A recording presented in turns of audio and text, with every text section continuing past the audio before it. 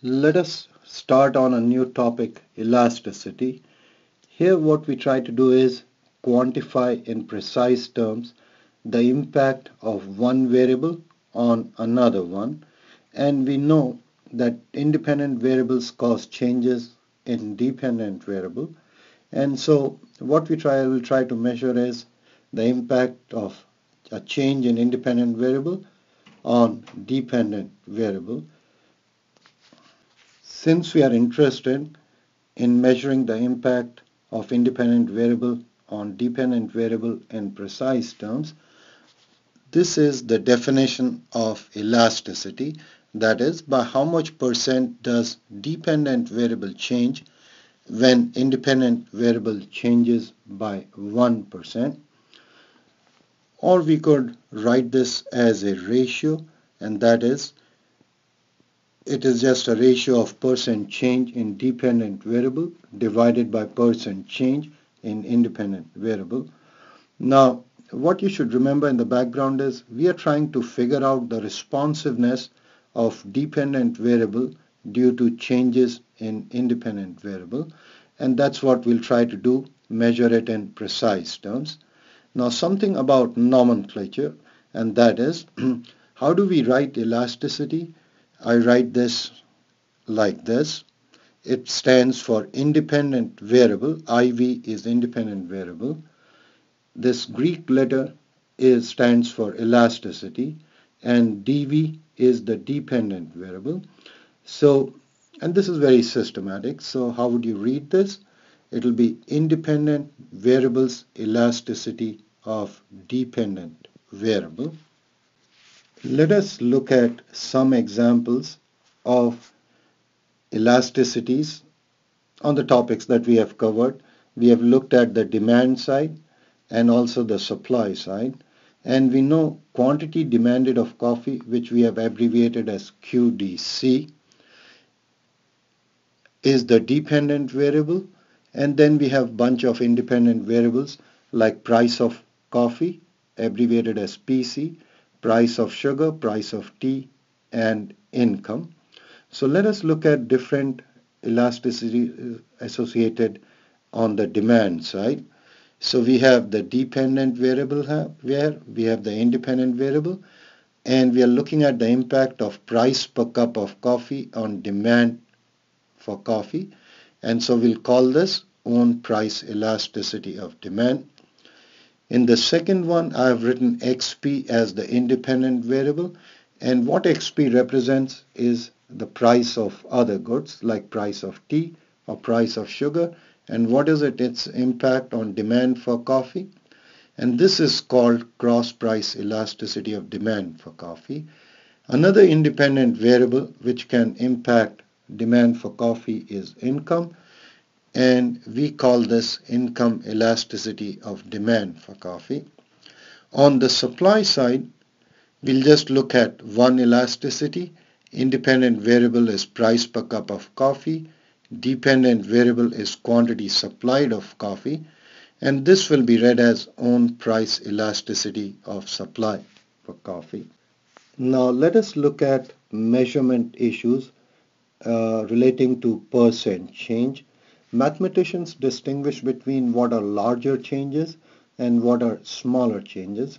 People or students who are familiar with calculus will be able or will know this difference.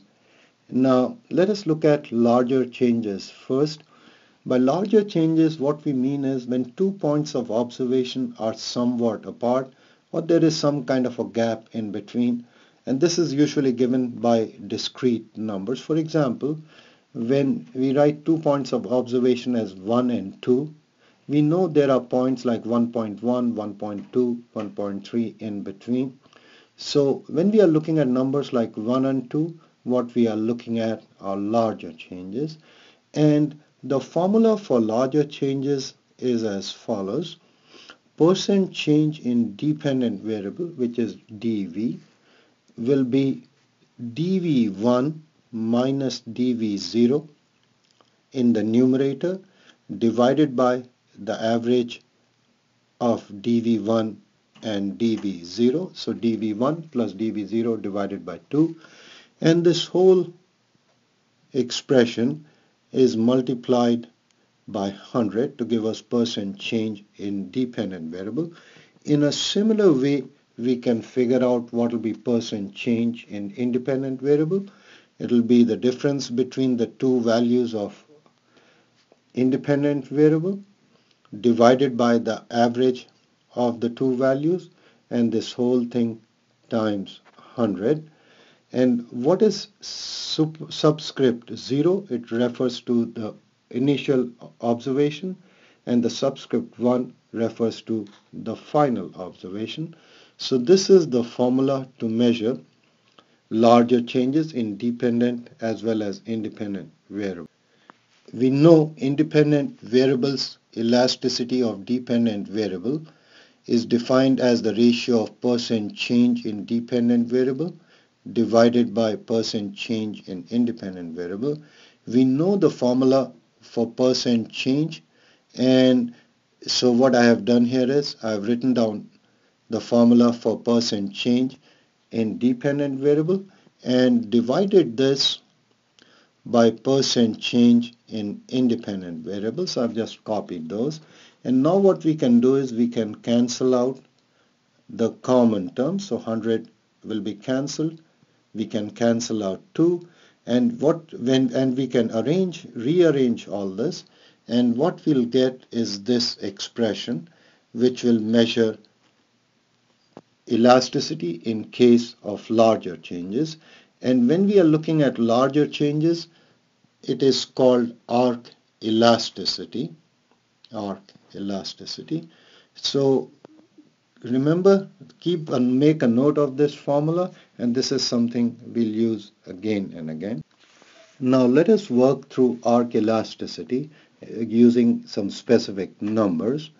We have P1 which is price in the original situation which is one dollar QD which is quantity demanded in the original situation which is 5 and P2 is $5 and QD2 is 1. So how will we calculate price elasticity of demand? We know price is the independent variable, demand or quantity demanded is the dependent variable.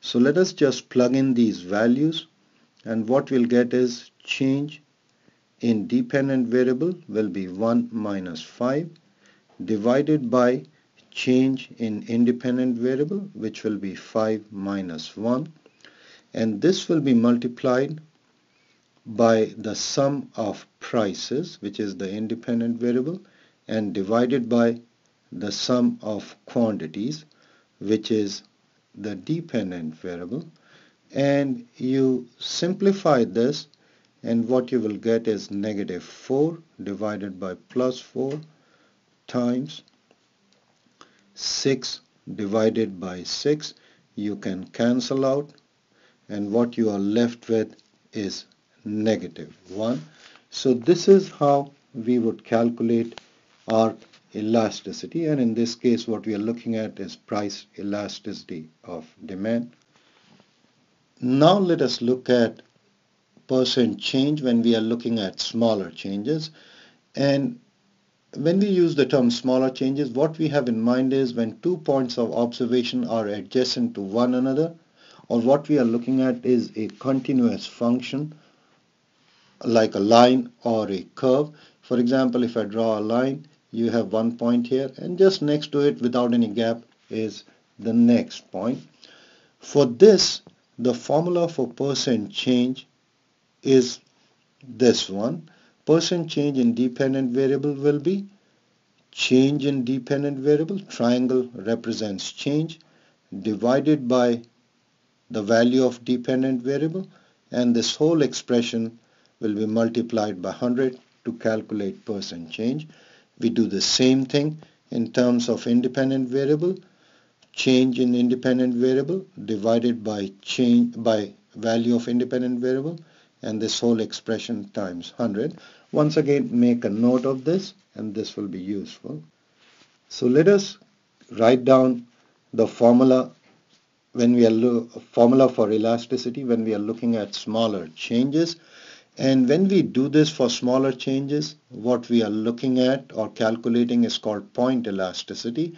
And this has to be distinguished from arc elasticity, which measures larger changes. Once again, independent variables elasticity of dependent variable is percent change in dependent variable divided by percent change in independent variable. And since we are looking at smaller changes, what I have done here is simply copied the formula for percent change in dependent variable for when we are looking at smaller changes and divided this by the formula for percent change in independent variable. Once again, we can cancel out the common terms and rearrange. And this is what we get as the final formula for point elasticity. and so here what we have is just the changes, changes in dependent variable divided by change in independent variable. And this ratio is multiplied by the value of independent variable divided by dependent variable.